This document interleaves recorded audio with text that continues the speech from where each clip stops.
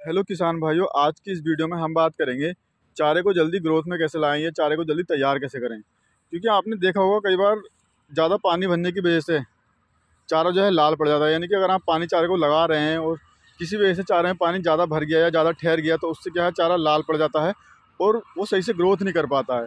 जिससे हमें काफ़ी समस्या का सामना करना पड़ता है क्योंकि अगर चारा टाइम से तैयार नहीं होगा तो हमें पशुओं के लिए चारे की बहुत बड़ी किल्लत का सामना करना पड़ता है। और हमारा जो स्टॉक होता है भूसे का, वो जल्दी ख़त्म हो जाता है और लास्ट में जाके हमें क्या होता है कि चारे की जो है दिक्कत काफ़ी ज़्यादा देखने को मिलती है।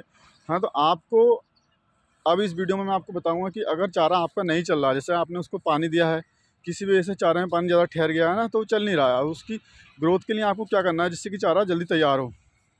तो मैं आपको बता दूँ, अगर किसी वजह से आपने चारे में पानी ज़्यादा भर दिया है या भर गया है, क्योंकि अगर हम लोग चारे को पानी लगाते हैं चारे में होता क्या हम लोग एक तरफ़ से पानी लगाते हैं ना? अब जहाँ पर ज़मीनें गहरी होती हैं या जहाँ पर पानी ठहरने की समस्या ज़्यादा होती है तो वहाँ पर जो है चारा या बरसीन जो है अच्छे से ग्रोथ नहीं कर पाता है और जिससे कि किसानों को चारा वो लेट तैयार होता है और किसानों को काफ़ी समस्याएँ का सामना करना पड़ता है क्योंकि चारा अगर लेट तैयार होगा तो हमें चारे की किल्लत देखनी पड़ती है क्योंकि पशुओं के लिए चारा होना बहुत ज़रूरी है ना? अगर सिंगल भूसा आप खिलाते हैं उसको तो उससे जो है दूध में काफ़ी गिरावट आती है। तो इसलिए आपको चारे को जल्दी तैयार करने के लिए कुछ मैं आपको ऐसे टिप्स बताऊँगा जिससे कि आपका बरसीन अगर लाल पड़ गया है या बैठ गया पानी की वजह से, है ना? अगर आपने इन माइक्रोन्यूट्रेंट्स या जो मैं आपको बताऊँगा इस वीडियो में अगर आपने उनका प्रयोग किया तो आप यकीन मानिए आपका जो चारा है वो दस दिन में ही, दस दिन में ही जो है वो काटने का हो जाएगा और आपको जो है चारे में इस तरह की समस्याएँ नहीं देखने मिलेंगी कि चारा चल नहीं रहा है ना, अब हम अपने पशुओं को क्या खिलाएँ?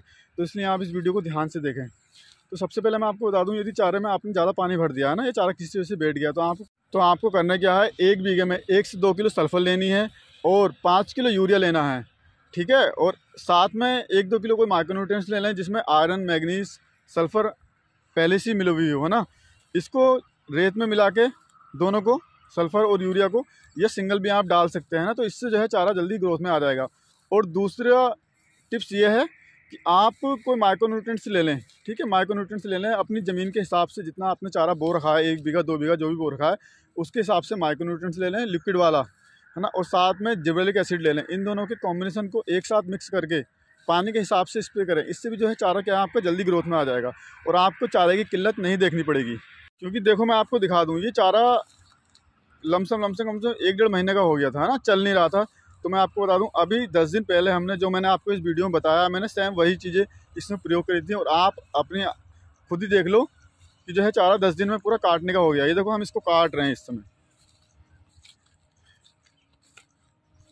देखो, इतना बड़ा चारा हो रखा है, क्योंकि और दस दिन पहले अगर आप इस चारे को देखते ना तो ये चल नहीं रहा था। ग्रोथ इसमें बिल्कुल नहीं हो रही थी। हमने इसमें आप, जो चीज़ें आपको बताई हैं इस वीडियो में, हमने उन्हीं माइक्रोन्यूट्रेंट्स और सल्फ़र वगैरह का यूज़ किया था और अब जो है चारा काटने ला एकदम तैयार हो गया है। जानकारी सही लगी तो वीडियो को शेयर करें जिससे और किसान भाई भी जो है पशुओं का चारा जल्दी तैयार कर सकें और हमारे किसान भाइयों को किसी भी तरह की गोद को लेकर कोई परेशानी ना झेलनी पड़े। वीडियो देखने के लिए धन्यवाद।